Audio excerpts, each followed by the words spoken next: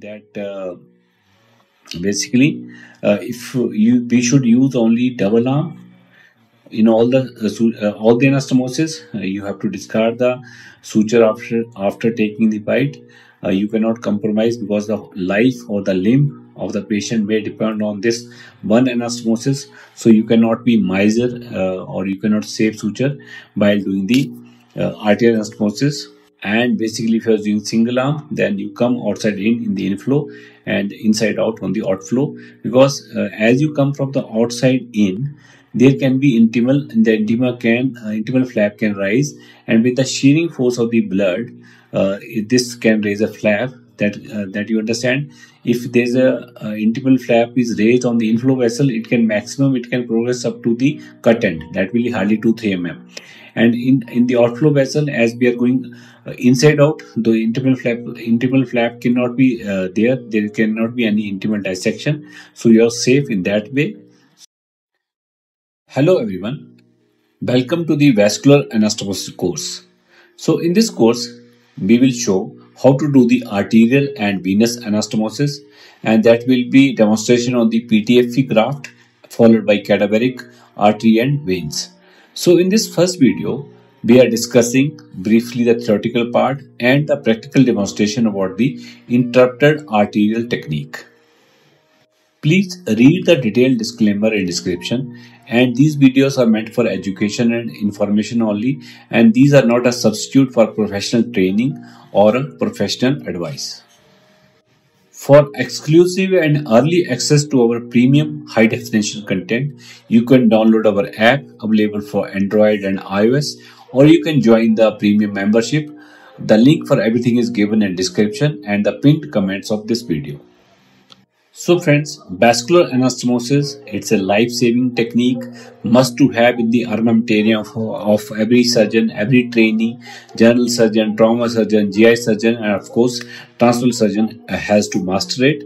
So uh, basically our aim is to uh, give an insight to our trainees and budding surgeons who may not be doing these kind of anastomosis on a so regular basis and if you are already a pro then these videos are not meant for you. Situations like trauma there can be uh, injury to the femoral artery femoral vein or upper arm injury. You may be dealing with the sma smv while doing the pancreaticoduodenectomy or during the thrombosis uh, during the transplant, uh, transplant reconstruction of course. So we often require immediate vascular repair which can be life saving in these kind of situation basically there are two type of techniques for doing the arterial anastomosis. One is the interrupted suture technique and another is continuous suture reconstruction uh, which can be under the magnifying loupes or the microscope. And we will show all these techniques in subsequent uh, videos of this series this is one good interesting paper uh, which all of you can read free to download the arterial anastomosis in uh, live donor liver transplant technique and risk by Stefano Di uh, Sandro. So the context is that hepatic artery reconstruction is one of the most technically complex st step during the LDLT and early arterial thrombosis has a mortality up to 50% that often requires a retransplantation. So they have discussed about the interrupted sutures with loupes, continuous suture with loupes, and continuous suture with the microscope. On the online version of this uh, paper, there are small videos also attached so viewers can watch those videos also. So the authors have concluded that there is no clear superiority of one technique over another in terms of thrombosis rate and microscope add precision but increase operative time without lowering thrombosis compared to loupes. Further, authors concluded that if the surgeon is experienced, then the thrombosis rate can be less than 1%, irrespective of the technique, whether you are doing interrupter technique. And why we are uh, recommending interrupter technique is because it is easier to follow, simple, safe, and versatile. And we are also discussing the same technique on a PTFE graft in this video. Again, viewers can go through this good paper by Yon Sheng Zhang. Uh, basically, it is uh, comparison of continuous versus interrupted suture for hepatic artery reconstruction using loop in a living donor liver transplant. So in this paper, they have uh, discussed about the 43 LDLT uh, using 3.5x loupes. So uh, the finding were that continuous suture group had shorter operative time. There was no difference between the hepatic artery thrombosis in either of the uh, arm, but that is continuous versus uh, interrupted, and longer operative time in the continuous technique. Uh, sorry, in the uh, interrupted technique and interrupter sutures were preferred if there was an intimal dissection or the poor vessel quality. The conclusion was that interrupter suture remains preferred when the vessel quality is poor and the continuous suturing is uh, safe and faster and effective when done under magnification. So if we see the uh, conclusion and study the finding of both the papers, so the message is that continuous suture reduce time but show no superiority in thrombosis rate compared to the interrupter technique and uh, sutures preferred when intimal dissection or poor vessel quality is present. And if I I would have been the author, I would add if somebody is doing it first time or if he's not doing it frequently, then also the interrupter technique is better. And the interrupter sutures are simple, versatile, ever error correcting, still widely used both in transplant and trauma setting. So, with this brief uh, theoretical background, so uh, you can adopt either of the technique. My recommendation is you start with the interrupted, and uh, then you can switch over to the other techniques if you are uh, comfortable or if you gain mastery over time. So, what are the brief step? The step by step technique will be First will be preparation. First prepare the arterial ends. Ensure a clean cut. With a, cut it cleanly. There should not be any ragged edges. And flush the uh, artery to be anastomosed with the heparinized saline. Also clear the end of the artery to be anastomosed 3 to 4 mm of the all the adventitia because it is highly thrombogenic and we will also showcase uh, and demonstrate during the cadaveric uh, demo. In the beginning part, always take two sutures, one at 6 o'clock of the artery, another at 12 o'clock, and uh, don't tie them. Uh, basically, hold them with the help of uh, these rubber shorts, and they also help to align the artery. You can take the uh, sutures at equidistance, and specifically if you're dealing with the uh, luminal discrepancy that one artery is small, one artery is big, then taking these uh, stitches 6 o'clock or 12 o'clock is very helpful.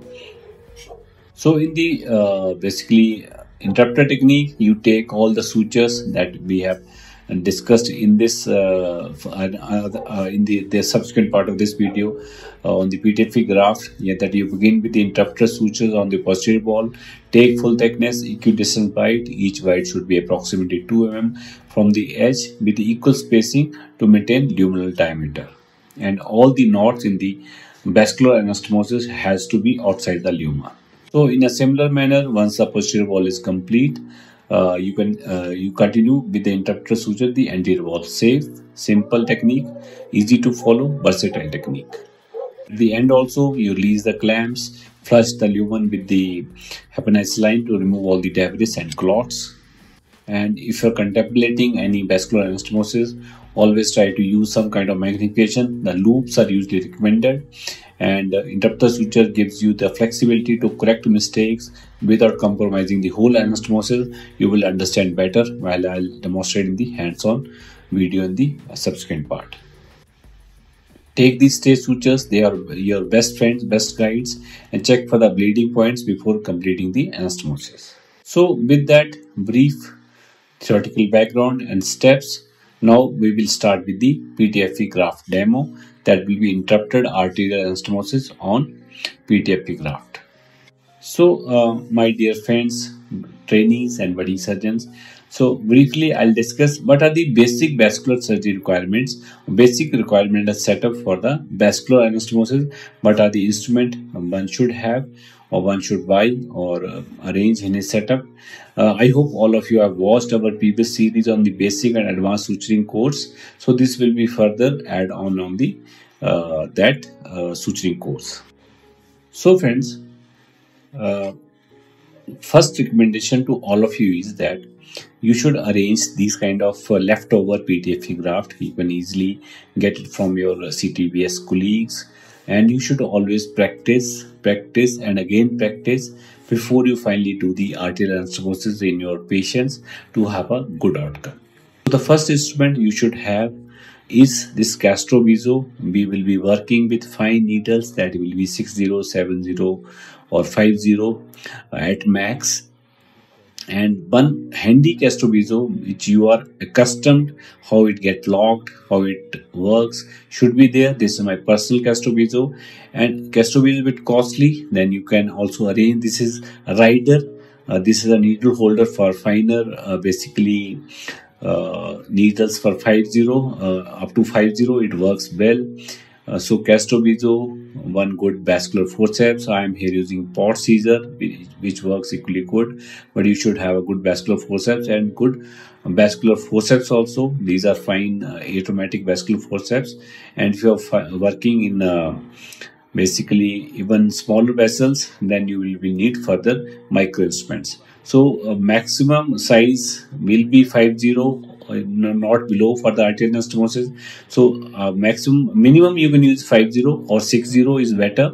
Whatever you're comfortable. For 70 you should be well versed. But in our setup, in our basically uh, what uh, kind of anastomy we'll do, 50, 60 will suffice. Again, this is my personal magnification loupe 3.5x and you all everyone all of you should have your own magnification. These are ttl loupes.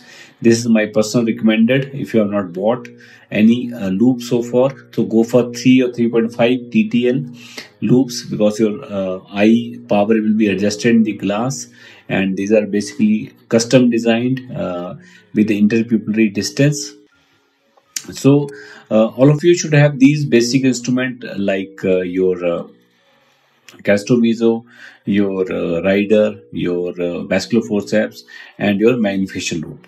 Uh, with that, we have reached the end of uh, this video, friends. Uh, and uh, in this series, the next video will be the, we will showcase arterial anastomosis with the artery flip technique. Again, this is one technique which I learned from my one of my teacher, and this is a very handy technique in difficult situations and what are the do's and don't, uh, why we should use it, and uh, so we'll discuss theoretical part and followed by the demonstration of the PTFE graft and all these videos demonstration will also we will try our best to showcase on the uh, basically uh, porcine artery and veins also. So stay tuned. I hope I was able to add some new insight and these are some of the thumbnails uh, which we have already the videos which we have already uploaded and uh, do check them out and for a better learning experience to get exclusive access to our premium high definition content you can download our app available for Android or iOS or you can join the channel membership. The link for everything is given in the description of this video. So thank you very much. Stay tuned. Happy learning.